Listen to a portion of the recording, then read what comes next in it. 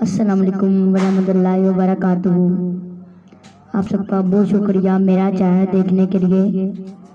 मेरे चैनल को सब्सक्राइब करें, लाइक करें, शेयर करें ताकि मैं अच्छी अच्छी वीडियोस बना सकूँ आप सबके लिए। आज हम एक बाजी का इंटरव्यू लेंगे और उनसे पूछेंगे नमाज़ों के बारे में। अस्सलाम वालेकुम वरहमतुल्लाहि वबरकातुहू वालेकुम अस्सलाम आपका क्या हाल है? ठीक हूँ। तो आज हम आपसे पूछेंगे कि कितनी नमाजें होती हैं? पाँच। माशाल्लाह पाँच नमाजें होती हैं तो उनके नाम बताएँ।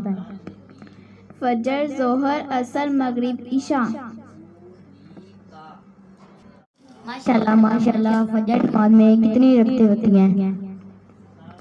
चार रखते होती हैं दो सुन्नत दो फ़र्ज़। माशाल्लाह माशाल्लाह तो आप हमें ज़ोर की नमाज़ के बारे में बताएँ उसकी कितनी रकातें होती हैं और वो कैसे पढ़ी जाती हैं? जोहर की बारह निकातें होती हैं चार सुन्नत, चार फ़र्ज़, दो सुन्नत, दो नफल। माशाल्लाह माशाल्लाह, आप हमें असर की नमाज़ के बारे में बताएँ। उसकी कितनी रखते होती हैं? असर की आठ रखते होती हैं, चार सुन्नत, चार फ़र्ज़। माशाल्लाह माशाल्लाह, अब आप मुझे मगरब की नमाज़ के बारे में बताएँ। उसकी कितनी रखते होती हैं?